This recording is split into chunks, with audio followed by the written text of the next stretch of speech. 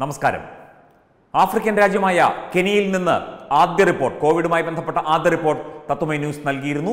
ഞങ്ങളുടെ പ്രതിനിധി ഹരി നായരാണ് ഈ റിപ്പോർട്ട് വിശദമായ റിപ്പോർട്ട് ആഫ്രിക്കൻ രാജ്യങ്ങളിലെ അവസ്ഥയും കെനിയയുടെ അവസ്ഥയും ഒക്കെ തന്നെ നൽകിയത്. സ്ഥിതി അല്പം ആശങ്കാജനകമാണെന്നാണ് കെനിയയിൽ നിന്നുള്ള അടുത്ത റിപ്പോർട്ടും സൂചിപ്പിക്കുന്നത്. മാത്രമല്ല ഇവിടുത്തെ പല മുഖ്യധാരാ മാധ്യമങ്ങളും പ്രധാനപ്പെട്ട മാധ്യമങ്ങൾ ചാനലുകൾ പത്രമാധ്യമങ്ങൾ ഒന്നും തന്നെ ആഫ്രിക്കൻ രാജ്യങ്ങളിൽ ഇന്ത്യക്കാർ പ്രവാസികൾ മലയാളികൾ അനുഭവിക്കുന്ന കോവിഡുമായി ബന്ധപ്പെട്ട് അനുഭവിക്കുന്ന ബുദ്ധിമുട്ടുകളോ കഷ്ടപ്പാടുകളോ ഒന്നും ശരിയായ രീതിയിൽ പുറത്തു കൊണ്ടുവരുന്നില്ല എന്ന ആക്ഷേപം പരക്കെ ഈ ആഫ്രിക്കൻ രാജ്യങ്ങളിൽ ജീവിക്കുന്നവർക്കിടയിലുണ്ട് എന്നത് ഒരു വസ്തുതയാണ്. കൃത്യമായി കാര്യങ്ങൾ അറിയിക്കുന്നില്ല തെറ്റായ വിവരങ്ങൾ നൽകുന്നു. അവിടെയൊക്കെ ആഫ്രിക്കൻ രാജ്യങ്ങളിലൊക്കെ ഇന്ത്യക്കാരും മലയാളികളുമൊക്കെ സുഖമായി താമസിക്കുന്നു. അവിടെ ഒരു പ്രശ്നവുമില്ല എന്ന രീതിയിലുള്ള പല തരത്തിലുള്ള തെറ്റായ സൂചനകളാണ് മുഖ്യധാരാ മാധ്യമങ്ങൾ നൽകിക്കൊണ്ടിരിക്കുന്നത് എന്നതാണ് അവിടെയുള്ള പ്രവാസി മലയാളികളുടേത് ഉൾപ്പെടെയുള്ള ആളുകൾ പരാതി പറയുന്നത്.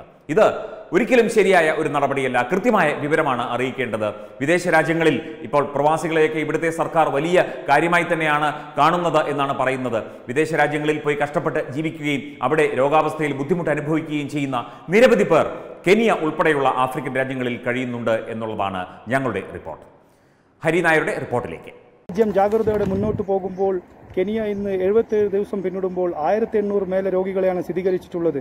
അറുപത്തിമൂന്ന് പേരാണ് രോഗം ബാധിച്ച് മരിച്ചവർ. മിനിഞ്ഞാന്ന് തമിഴ്നാട്ടുകാരനായ കാർത്തികേയൻ എന്ന് പറഞ്ഞ യുവാവാണ് മുംബാസയിൽ രോഗം ബാധിച്ച് കാലമായത്. ഇയാൾ മുംബാസയിൽ കിഴക്കൻ ആഫ്രിക്ക ഗ്ലാസ്മാർട്ട് എന്ന് പറഞ്ഞ കമ്പനിയിൽ ഒരു സോഫ്റ്റ്വെയർ പ്രൊജക്ട് സംബന്ധിച്ചിട്ട് മൂന്ന് മാസം മുമ്പേ ആണ് എത്തിയത്. ഇന്നലെ ശവസംസ്കാരം നടന്നു. ഹൈക്കമ്മീഷന്റെ നേതൃത്വത്തിൽ ഹിന്ദു ശ്മശാനത്തിൽ സംസ്കാരം നടന്നു. കെനിയയിലെ പ്രവാസികളുടെ ജീവിതം കുറച്ച് ആശങ്കാജനകമാണ്. സാമൂഹ്യവ്യാപനം മൂലം പ്രവാസികൾ ഭീതിയിലാണ്. കോവിഡ് മഹാമാരി ഒട്ടേറെ പ്രവാസി ജീവിതങ്ങളെ പ്രതിസന്ധിയിലാക്കിയിരിക്കുന്നു. പലർക്കും ജോലി നഷ്ടപ്പെട്ടു. എന്നാൽ താൽക്കാലിക വിസയിൽ വന്നവർ എത്രയും പെട്ടെന്ന് നാട്ടിലേക്ക് മടങ്ങണം എന്നാണ് ആഗ്രഹിക്കുന്നത്. മുഖവർണം ധരിക്കുന്നതിനെക്കുറിച്ച് പോലീസ് വളരെയധികം കർശനമായി പരിശോധനയാണ് തുടരുന്നത്. സാമൂഹ്യ അകലം പാലിക്കാൻ എല്ലാ ക്രമീകരണങ്ങൾ സർക്കാർ നടത്തുന്നുണ്ട്. കെനിയ എയർവേസ് ജൂൺ എട്ടിന് യാത്രാ സർവീസ് പുനരാരംഭിക്കുമെന്ന് ഗതാഗത മന്ത്രാലയം സ്ഥിരീകരിച്ചു. യാത്രക്കാർക്കായി രാജ്യത്തിന്റെ വിമാനത്താവളങ്ങൾ തുറക്കുന്നതിന് മുൻപായി കെനിയ എയർപോർട്ട് അതോറിറ്റി ആവശ്യമായ ഓപ്പറേഷണൽ മാനുവൽ സ്ഥാപിക്കും. പ്രവാസികളുടെ ജീവിതം പത്തേമാരി എന്ന സിനിമയിലെ പള്ളിക്കൽ നാരായണനെ പോലെയാണ്. ഒട്ടുമിക്ക പ്രവാസികൾ നിർഭാഗ്യവാന്മാരാണ്. കെനിയയിൽ നിന്നും തത്വമയിക്ക് വേണ്ടി ഹരി നായർ. കെനിയിൽ തമിഴ്നാടുകാരനായ ഒരു ഇന്ത്യക്കാരൻ പ്രവാസി മരിച്ചു എന്നുള്ള റിപ്പോർട്ട്.